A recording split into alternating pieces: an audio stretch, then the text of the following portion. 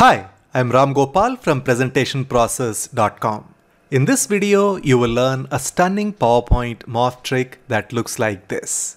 Full picture, a part of the picture, another part, another part, another one, and then the final picture. You can use this beautiful effect to show different parts of a technical drawing, like say an engineering drawing or to take your audience through different parts of a photo collage. There are so many interesting ways in which you can use this beautiful effect and it's surprisingly easy to create this effect. Even a rank beginner in PowerPoint can do it as long as the person has Microsoft 365 subscription or the version of PowerPoint which is from 2019 onwards. Let us learn how to create this stunning PowerPoint morph trick from scratch. Here I am on a new presentation on a new slide and I have this picture inserted onto the slide. Where did I get the picture from?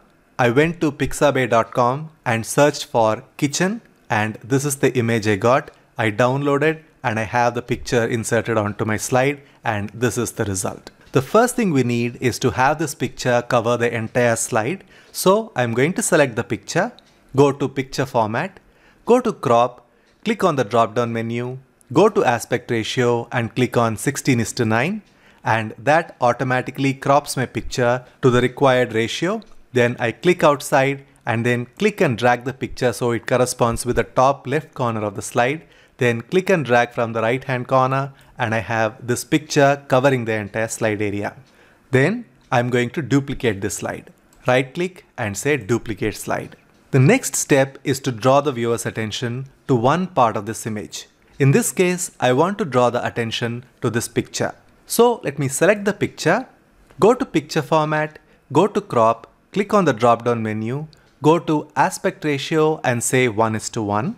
Then go to crop, click on crop to shape and say oval which is under basic shapes. This is the result you get and this is not what we want. So I'm going to click on the same picture again and click on the crop icon here in the crop tool and you can see that we have the cropped area shown. Now I am going to manually readjust the cropping area so that I can draw the viewer's attention to the specific area I want. The key to this entire trick is not to move the picture in the background at all. You just need to move the cropping area and that is where the magic lies. Now I'm going to hold the shift button down as I click and drag from the bottom right corner to readjust the focus. Now you can see I have moved the cropped area to this portion. Now I'm going to hold the shift button again and then I'm going to click and drag from the left corner and then I'm going to readjust till the point where I'm able to get the focus where exactly I want. Can you see here? By playing with the crop handles, I'm able to draw the viewer's attention to the specific area of the picture and that allows me to label that area. Now I'm going to click outside you can see that only that portion is shown on the slide. Now I'm going to use my text box tool to label this part. Let me call this the painting. I'm going to increase the font size to say around 72 and I'm going to use a thicker font and let me keep this to one side like this. Now I'm going to duplicate the slide by right clicking and using duplicate slide option and once again I'm going to crop the image. So let me select the picture, go to picture format and click on the crop icon once again. Now you can see that the remaining portion that was cropped out is now clearly visible. Now once again use the crop handle to focus the viewer's attention on another part of the image. Now I'm going to hold the shift button down and holding the shift button down ensures that the proportions are constrained so I can have the circular image the way I want.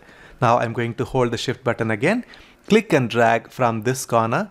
Now I'm going to draw the viewer's attention to this part of the image. So let me use the top left corner to readjust the focus. Now I can see that the focus is here on this plant.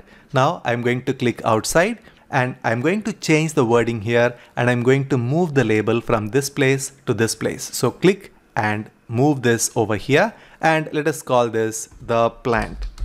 I'm just using very simple titles here. It is up to you to use this technique with your own creativity. Let us repeat the routine one last time so you understand the concept very clearly. Let me right click on this, duplicate slide.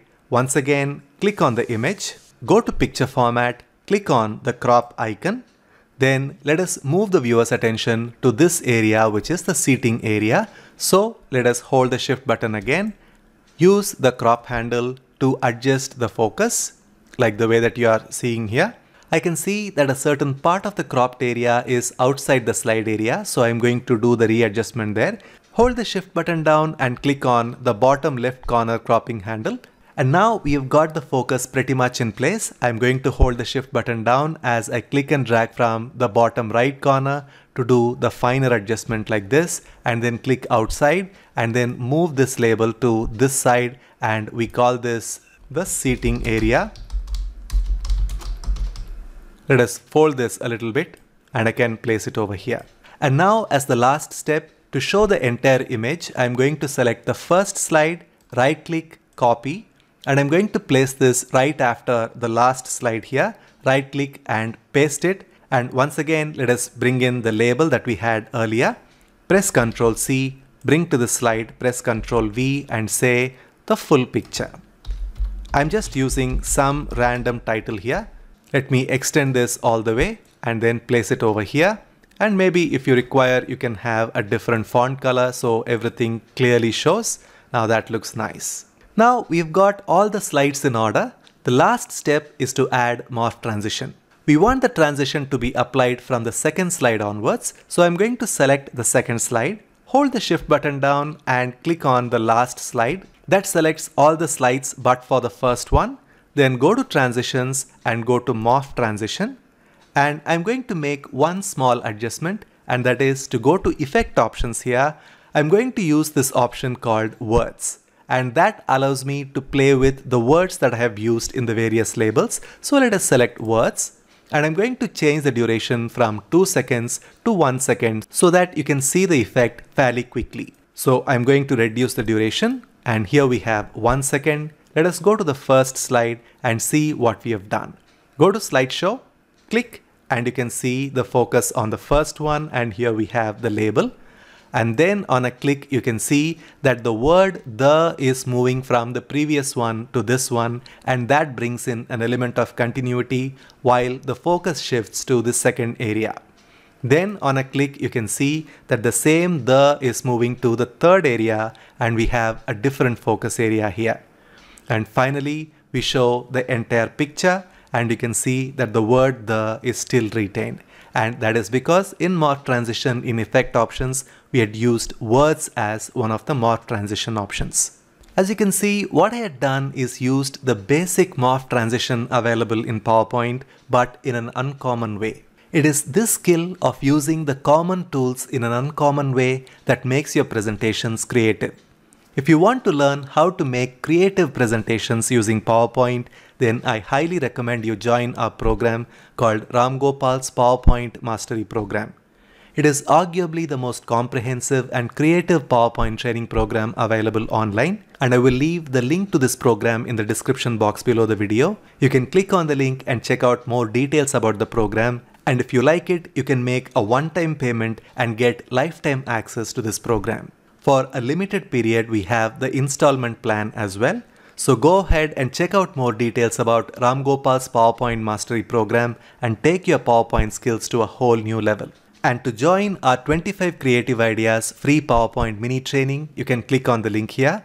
If you like this video, please give this video a like, share it with your friends and hit the subscribe button to join our 200,000 other subscribers who are taking their PowerPoint skills to the next level and to watch our latest PowerPoint video, you can click on the link here.